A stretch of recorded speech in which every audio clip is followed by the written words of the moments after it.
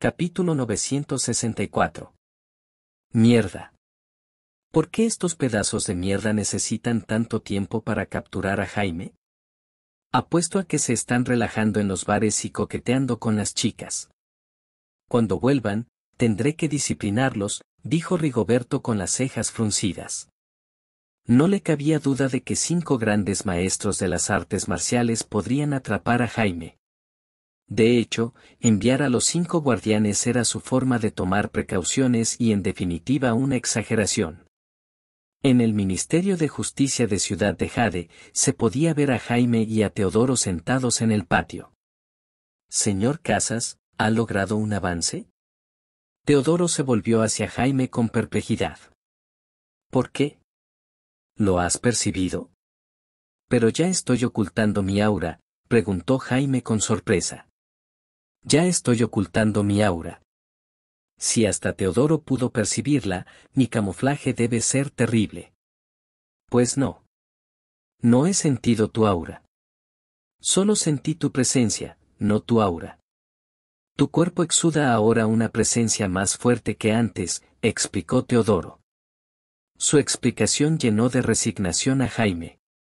No tengo ningún control sobre mi presencia.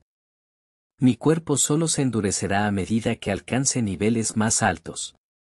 No hay forma de que pueda ocultar la presencia que exudan los niveles superiores y la mejora del cuerpo. Lo superé hace dos días, respondió Jaime con una leve sonrisa.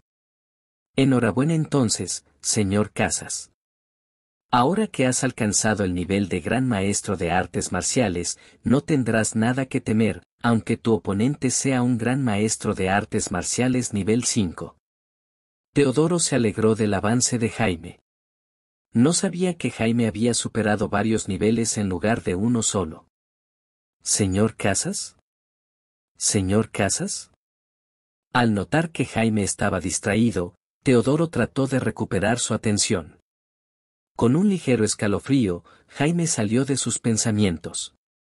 Sí, General Jiménez? ¿Qué ocurre? Al no captar nada raro en la expresión de Jaime, Teodoro dijo.